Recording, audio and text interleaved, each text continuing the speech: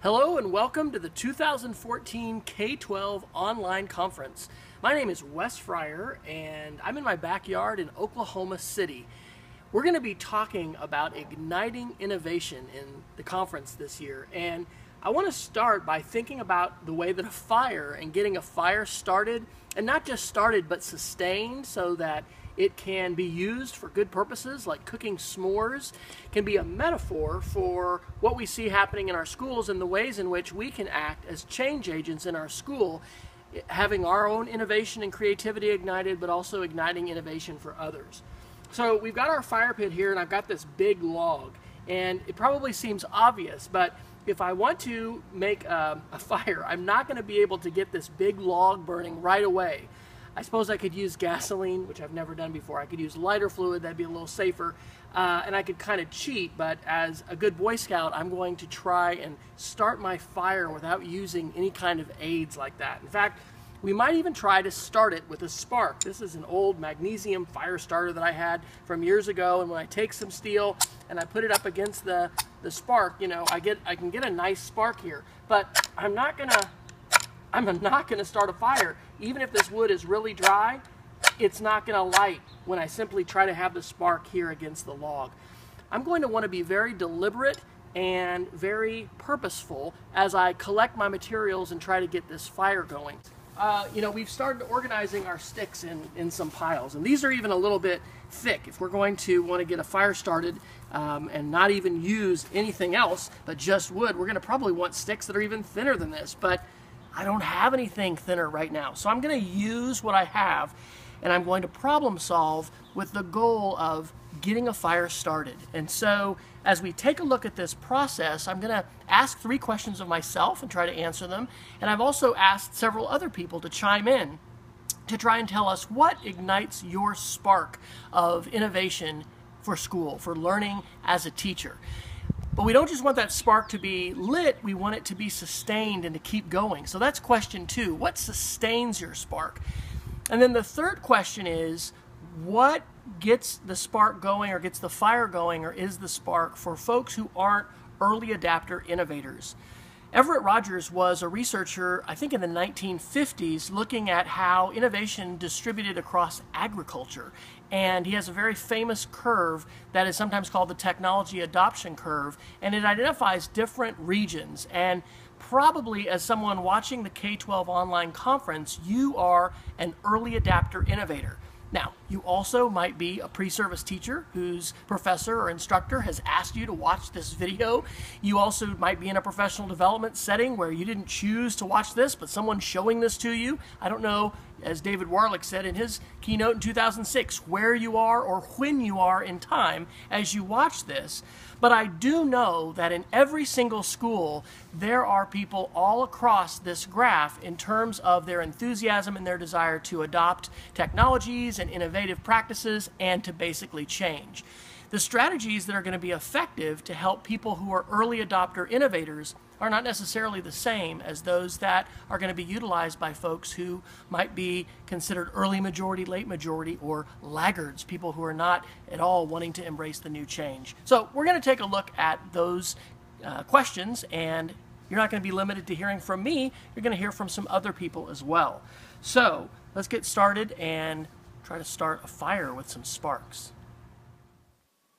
Hi, I'm Rachel, and I would like to talk to you about art. Art is one of the things that I like to do, being creativity and using your brain and sharing. See, at my school, only fifth graders have art teachers and get to do art and get the experience. Well, I feel that first graders should be allowed because art is one of the things that I like to do. Here's one of the drawings that I did when I was young, and even I still like to do art. Even when I was six, I liked to do art. And at all ages, it was all still the same. I think that using your brain and creativity is a good thing that first graders should be allowed to do art because it's a feeling that you can do it and using your brain and just doing what you're told to do inside. So I think you should go on and keep moving and keep trying and getting it right. Getting a fire started using literally a spark is really a challenge. Um, even when you have everything prepared and everything in order, it can be really difficult um, to even get a fire going at all. And so getting innovation going in school might be a little bit like this. Um, we've been trying to get innovation and creativity and change happening in school for many years. And some people think that technology is really the answer. Like technology maybe is this match. Technology is what we're going to be able to strike and it's just going to be magical. But look at that. The wind, even though we're not having a storm here, it's just a little breeze, whoosh, just snuffed that out. Technology by itself is no panacea, meaning it is not the answer to uh, our need for creativity and innovation and change in schools.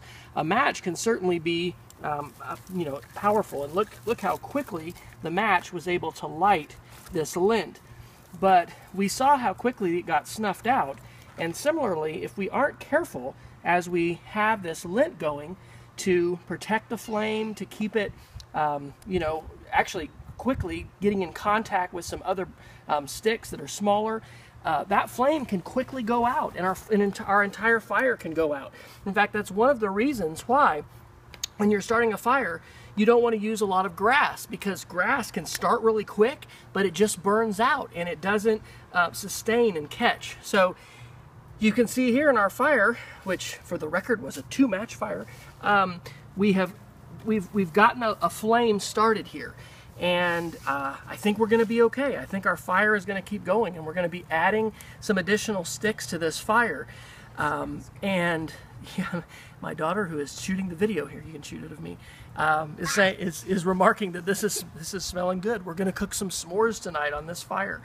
As you think about your school and you think about how it is that you can get fire going and get that spark going, um, think about this as a metaphor and you can go ahead and shoot me. You don't have to shoot the fire. Okay. Thank you. Um, think about um, the ingredients that you're going to need, the team that you're going to need. Um, when you're by yourself, you know, it's kind of like you're that lone match. Uh, trying to, you know, get that big log started, or maybe even the, the spark that we were trying to do earlier off that magnesium fire starter. It's pretty hard. Um, so it's not enough to just have technology, to have tools. We've got to really have the people and the ideas in place to keep that fire going and to get that sparked. So uh, let's turn to some other folks and see what they think about sparking innovation and what, what gets their, what, what ignites their innovation, what provides that spark for them. Innovative work is ours to be sparked. It's a journey that begins whenever we start. Start doing, start creating, start playing and wondering keep asking, keep trying, keep growing and blundering. Write everything down and connect empty spaces. Notice patterns and people and visit new places. Seek interesting leaders on the edge who flourish. Build from their energy, their passion, and courage. Ideas amplify through selective distractions. Discover and tinker with random interactions. Get away from the comfort to embrace tension and clashing Possibility thrives when we push through the thrashing. Just go. Learn, make, share, repeat, then stop. Listen, dream, rest, and think. If innovation was easy, then it wouldn't be so. To make change happen, you have to find your flow.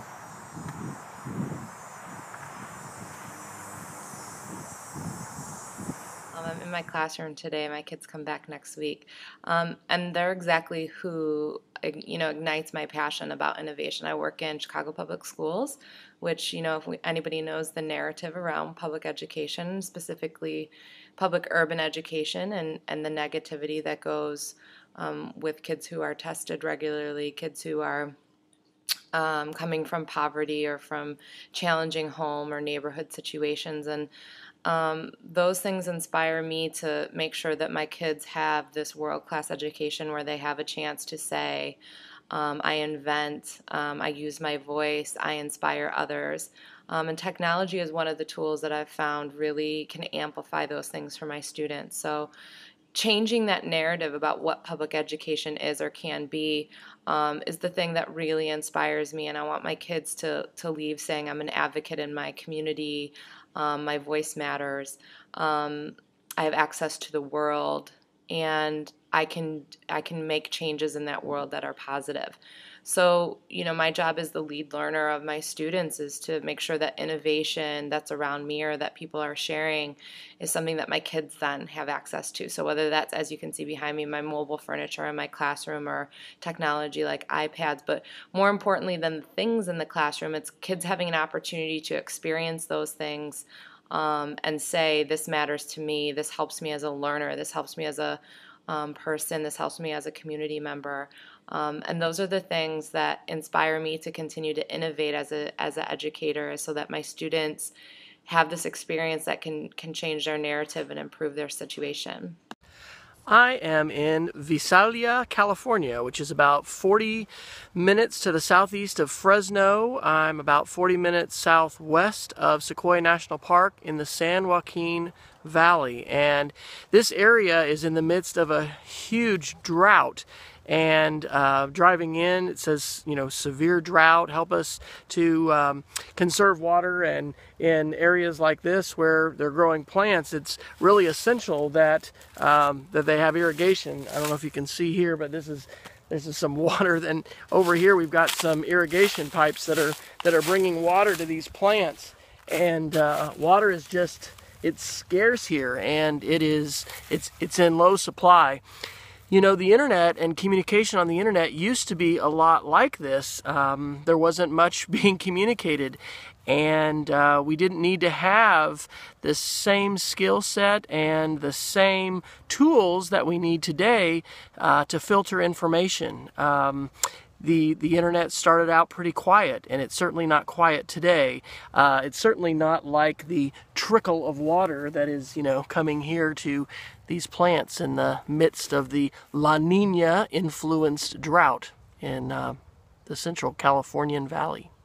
Information landscape today in 2014 looks a lot more like this than it does a little trickle of water. And one question might be, how are we managing to not only navigate but also filter this incredible stream of water, which is the internet, which is the information, which is so many connections that are all around us.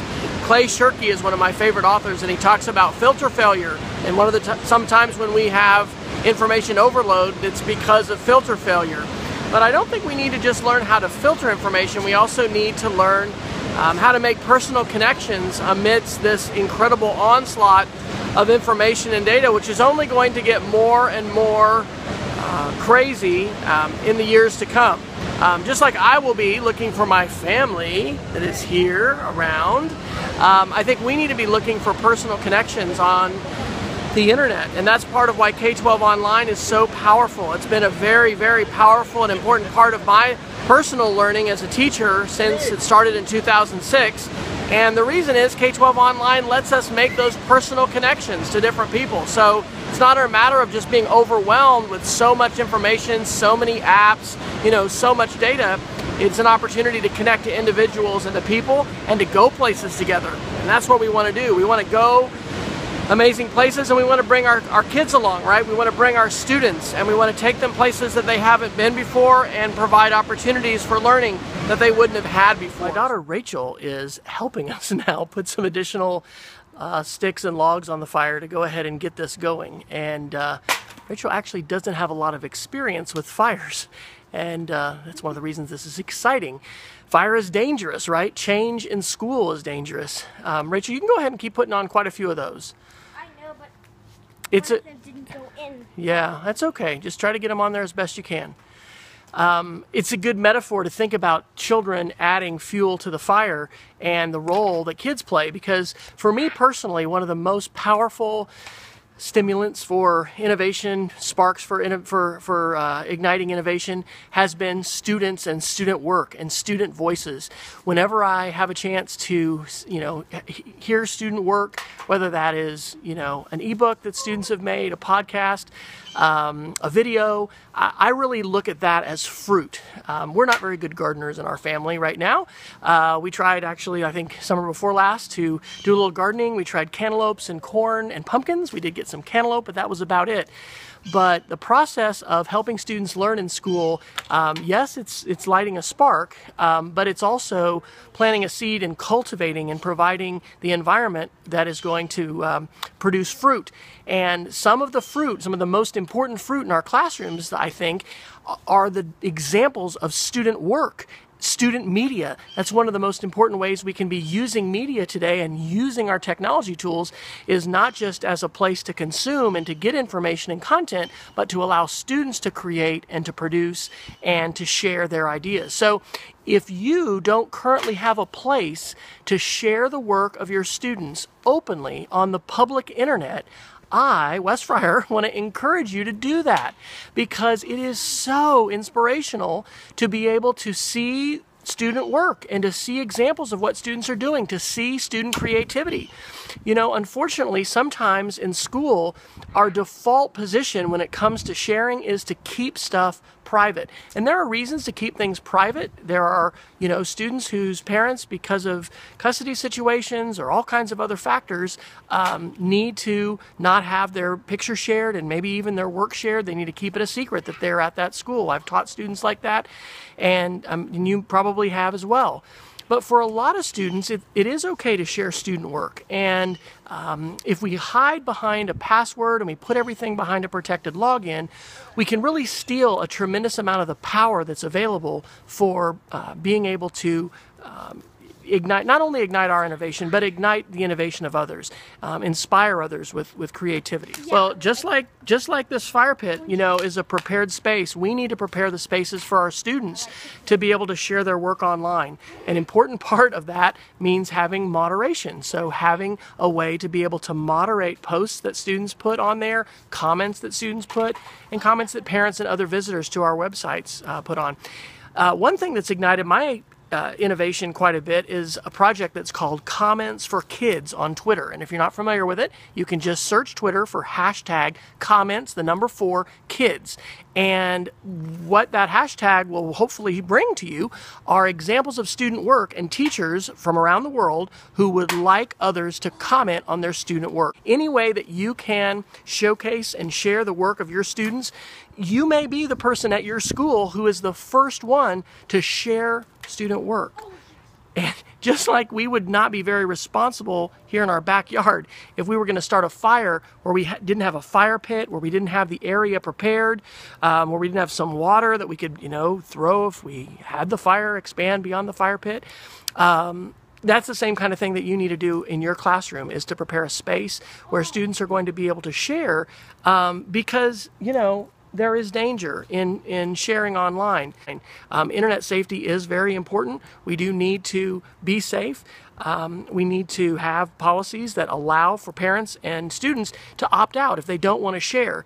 But, you know, what would what would our evening be like tonight if we're going to try to have s'mores and and you know be outside without without the fire you know if we didn't have the campfire similarly in your classroom it's really important to have that space to share so there's a few thoughts. I wonder what some other people have said about sparking innovation. Innovation for me is ignited when I think really hard about how whatever it is can be done differently. I often ask myself a super, very important question Why are we doing it like this?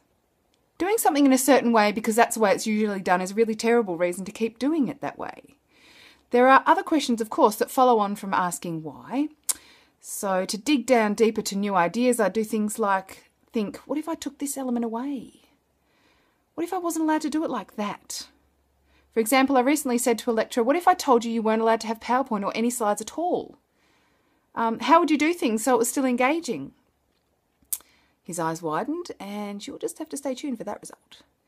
So other questions I ask are, you know, does this really suit these learners? What does suit these learners? What would in, what would they enjoy something different?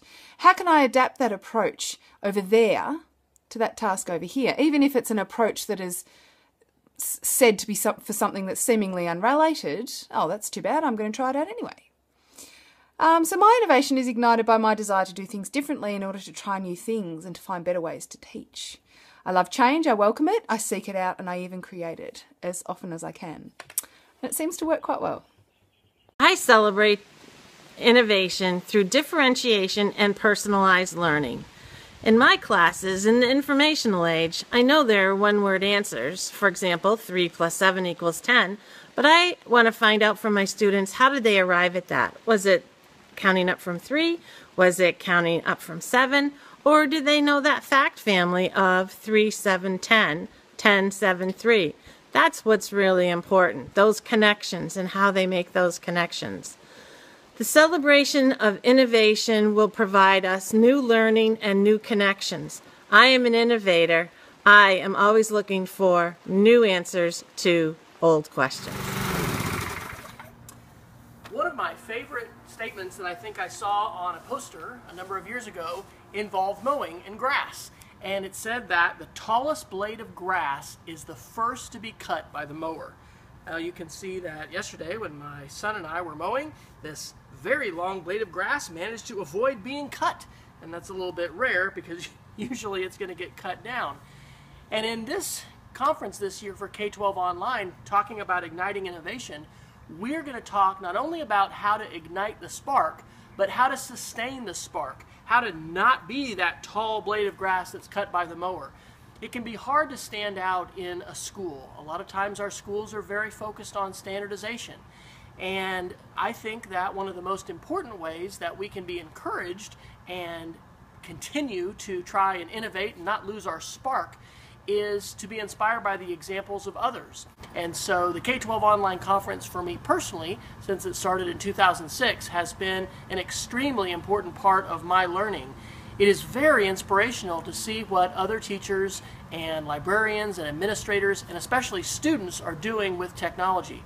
And so we'll take a look at what some other folks have said allows them to sustain their spark and keep on burning and not be burned out or cut by the mower, as it were.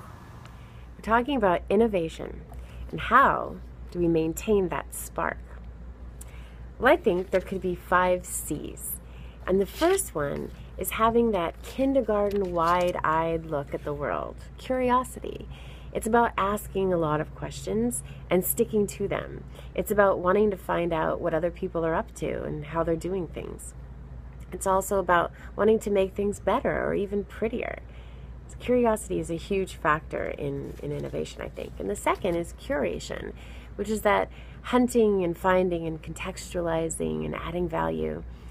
It's that seek, sense, and share that Jarche talks about. I try to curate something every day because I want to fill myself up with inspiration. That's the role curation plays. And the next one is more about people, it's about connection. I think this is also about environment. You know, you can have a digital connection or physical, but whatever it is, you're surrounding yourself with interesting people that are going to inspire you and build you up, but also call it like it is and give you constructive criticism. So I think connection is extremely important and often leads to collaboration, really working together on a creative project, combinatorial creativity. And, um, you know, my friend Brad calls it playing in the sandbox with cool people. You know, most of my best work actually comes from collaborations with other people.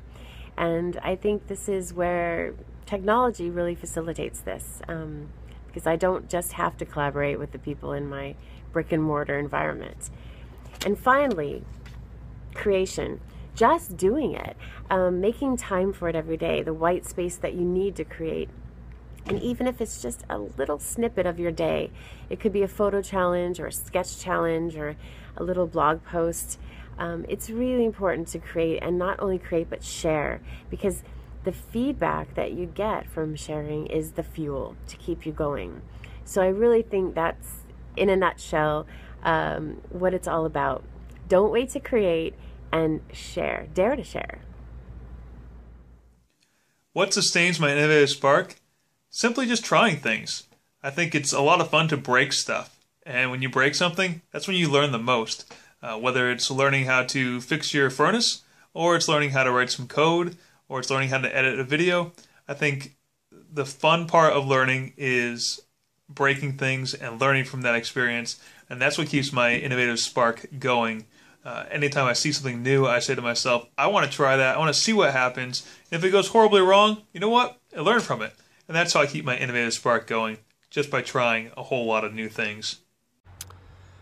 I am here in Sequoia National Park in California. We are somewhere between five and 7,000 feet above sea level on the western side of the Sierra Nevada mountains.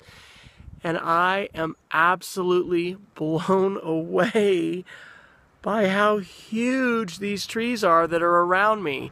And I'm about to go to the General Sherman tree, which is the largest tree in the world by mass, and it's estimated to be 2,200 years old. And I have never been around, never seen, never touched any trees this old.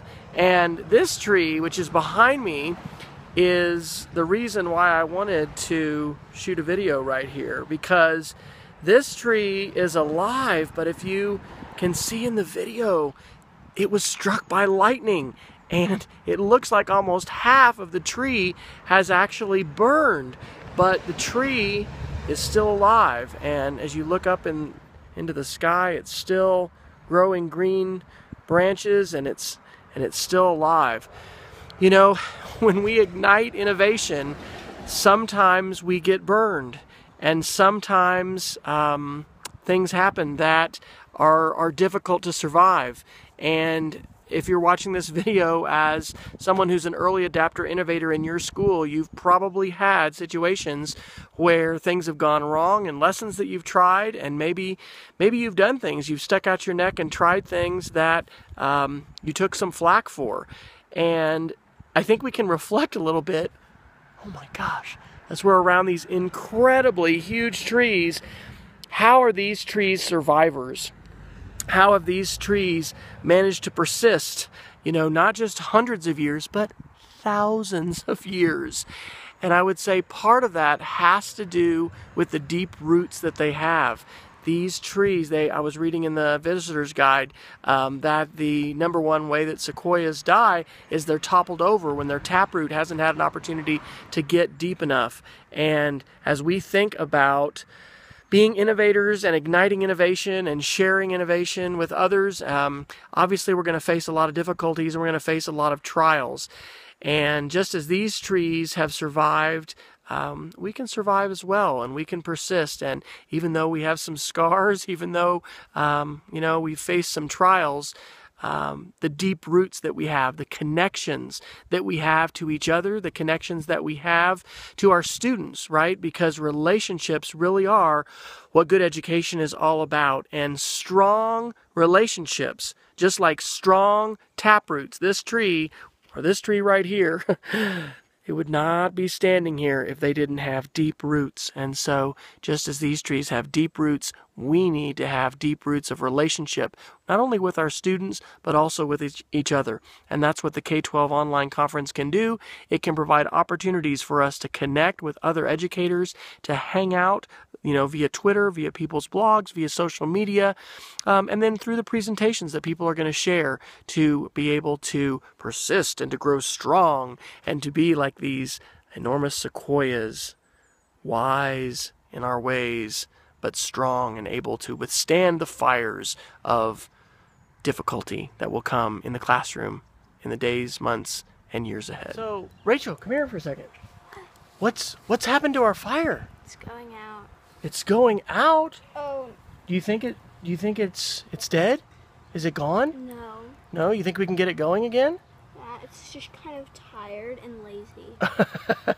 well, uh, ooh, and I took off my glasses. Why don't you go see if you can put some other sticks on here? Because these are coals, and I'm going to bet that even if you get some of those larger sticks and put them on there, we're going to be able to get this going again.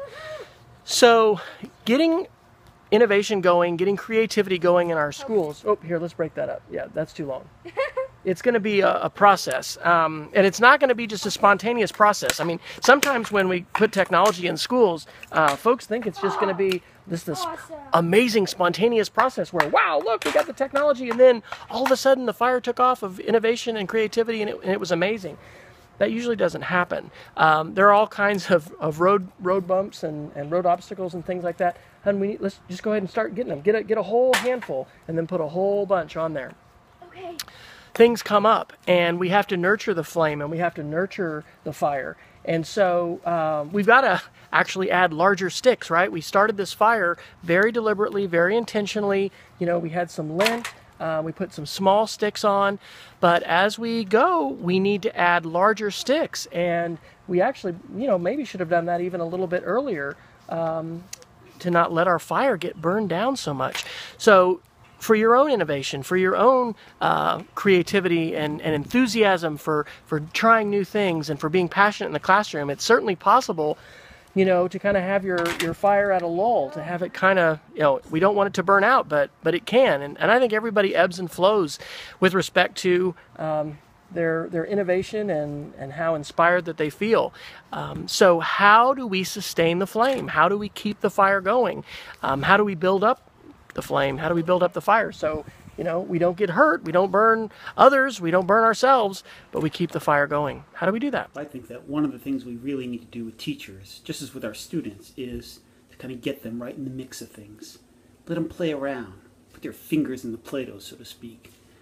You know, we're tired of people telling us what to do and giving us tracks of text and saying, read this and then make change. I think the way to do things is really to get involved and play around and have fun, and then give some time to reflect. This has been really effective in the kind of PD offerings that we do at the National Writing Project and also with our Making Learning Connected MOOC this summer and past summer, where it's all about play and exploration. And then, of course, the important part is the reflection element. How will this translate our students in the classroom? Dad's toolbox from when he worked at Boeing during World War II and I remember as a kid rummaging around in it and finding tools that, man, I really had no idea what they were, could be used for. But then as I got older, realizing how some of them could be used, and that was always pretty exciting. And I think that's still kind of true today, that a lot of the hardware and online tools that are available, there's no way you can know what all of them, how all of them can be used. But to just generally be aware of what's out there, and then when a learning opportunity comes up, being able to think, wow, you know, this new Google Docs thing, of course, this was a number of years ago. I could, we could use that to write our collaborative stories instead of just our blogs or, ooh, video conferencing. We could use that to share with another class or, or interview that expert we want to talk to. And we use them in substantive ways, not just, um, oh, mom, we, we video conference with the class in another country. And, and, and those are things that still ignite my innovative fire today. Rachel, what what happened to our fire? It like is excited, really, really excited and happy, and oh, ah, ah, It came, it came to life. It's pretty hot. In fact, we may have to move some of our logs back a little bit, I think. Was it very hard to get this fire going now, Rachel? No, This- we just put on a bunch of sticks and some bark. Yeah, we put on some bark, we put on some fuel, and we put on some larger sticks. So, how can we do that in our school when we've got folks that have been creative and innovative? Big Um, we need more fuel. We need fuel for the fire. Where, do, where does that fuel come from? Uh, where does the fuel come from to keep our spark burning? When hoping to inspire innovation in our colleagues who are a bit reluctant to change, it's important to remember, as my good friend Lucy Gray always says, not everyone is as excited as we are. And as such, going to them with our passions and trying to get them as geeked up as we are about certain things may not be the best strategy. Instead, let's remember where their heads are at. What are they focused on? What are their needs and goals and challenges? We ask them, What are your problems of practice? What are things that if you had a magic wand, you could fix in your classroom? What are the goals that you hope to achieve in your classroom? And let's not throw around words that can sometimes be intimidating, like innovation and transformation. Let them set their goals and start small. Help scaffold those goals with innovative strategies so that you're meeting those challenges or problems of practice with innovative ways. And in that way, the teachers aren't feeling like you're asking them to transform for the sake of transformation, but helping them transform old problems through new solutions. And that way, all of that time and effort in working on that innovation and that new thinking feels like it's worthwhile to them because it's solving a problem that they've always had.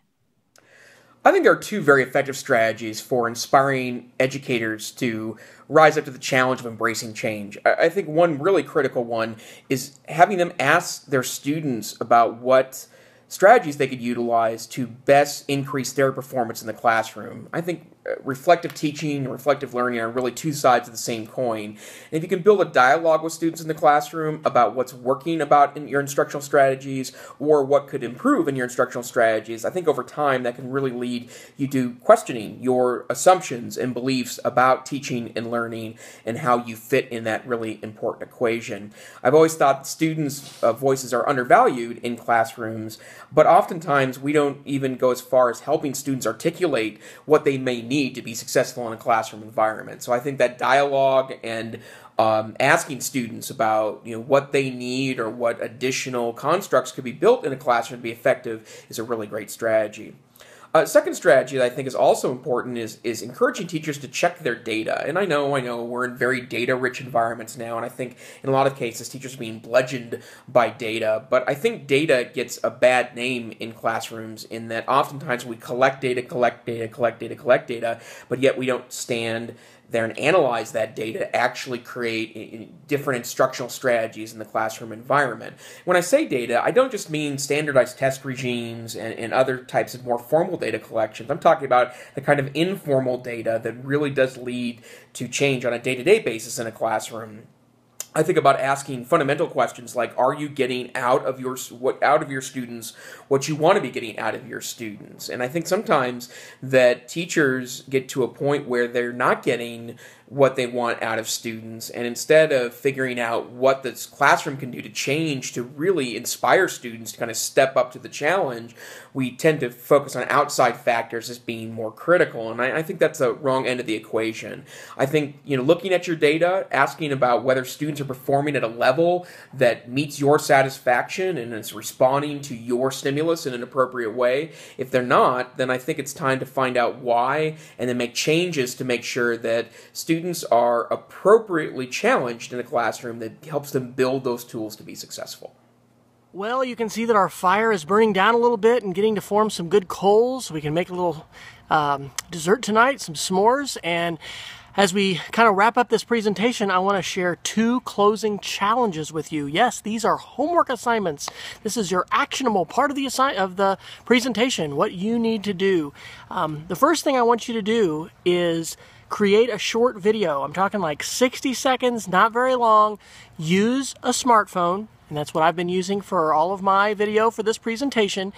And either have someone else record you or you can record yourself, like I'm doing for this little clip, and tell us what ignites your innovation. Or you could you could answer the second question what sustains your innovation or what do you see igniting the innovation of other people answer one of those questions and then share it on YouTube with the hashtag K12online. K my my golden retriever thinks I'm down here to, to visit with her, um, with the hashtag K12OnlineIgnite. So that hashtag is going to allow others to aggregate and see those videos. And um, the other important thing, which I'd encourage you to do, is to share that on YouTube with what's called a Creative Commons Attribution License. And what that will let other people do is remix and create other videos. So we can actually have more video compilations that we can create that um, will include different voices and other teachers in different places sharing thoughts. And just like I've, you know, come here to my backyard and gone other places in this video, uh, you can do the same thing as you take that video, take those videos and, and share those videos. So that's your first assignment. Hashtag K12 Online Ignite and answer these questions and share those with others. Maybe the first time that you've shared a video online, that's fine. You can create a YouTube channel. It is free to do. And uh, my dog Willow is wanting to be part of the video. I didn't plan for that.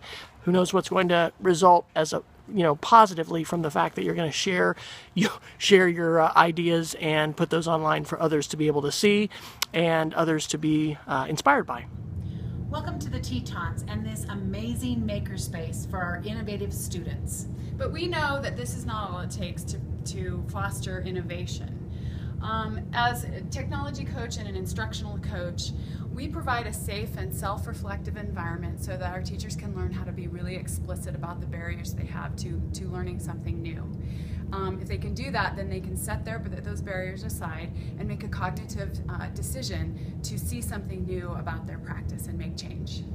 We help teachers to identify projects that are authentic in a real world um, experience and provide authentic audiences. In addition, we, in, we help them to understand the importance of a shared vision of learning between students and staff.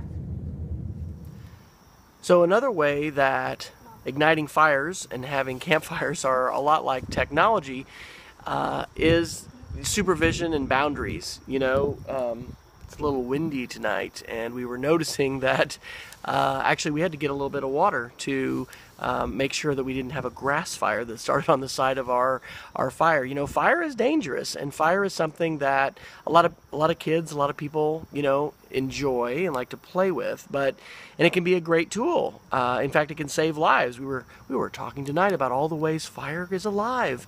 Um, but you know, it's something just like technology that needs supervision and needs boundaries. Um, if we didn't have boundaries here and uh, we didn't have supervision, it could be really dangerous. It might not, it wouldn't be a good thing. And so technology is is the same thing. And so it's so important for us to be having conversations with our students and with our kids, with our family members um, about the use of technology. And oh my goodness. Uh oh, somebody's marshmallow fall. Oh my goodness, mom, uh, because all kinds of things can happen, right? Uh, and even in the time between when I make this video and, and you see it, I mean, there's going to be all kinds of new things that are happening. Um, how are we going to stay abreast of these things? How are we going to be safe and appropriate? Um, we're going to need to have conversations with each other, with our children, with our students. Um, we need to gather around the fire. It's good. There's good conversations to have. Um, ooh, and it's yummy, someone says. But, um, you know, it can also be dangerous. And, and it's really important. It's part of our responsibility as adults to have these conversations with students, to not just, you know, send them out, you know, here with no supervision, go out into the wide world and, you know, start your fires, drive your cars, you know. No, we know that we're going to have to help students learn how to do that safely when it comes to driving. Uh, hopefully when it comes to starting, you know, campfires and, and learning to, to use fire safely. Same thing goes for technology. Well, the fire has burned down and we're cooking some s'mores and uh, the K-12 online conference is about to get started in earnest. I hope that the conference provides an opportunity for you to uh, hear stories, to share stories, to be inspired to share your own stories. You know, we have wonderful things happening in our schools all the time, but unfortunately, in a lot of places we're not taking the time we need to share those stories. So um, I want to share a final challenge with you in addition to the video challenge. Uh, just like we are engaging in messy learning here, or well, messy cooking, uh, cooking some s'mores by the fire, um, I want to encourage you to create a space, if you don't already have one, to share student work um, at your school. Uh, of course, get permission from parents, get permission from students, but there is so much positive inspiration that we can draw from each other, particularly when we share our work. And uh, I hope that K-12 Online is a transformational experience for you this year and in the future as it has been for me.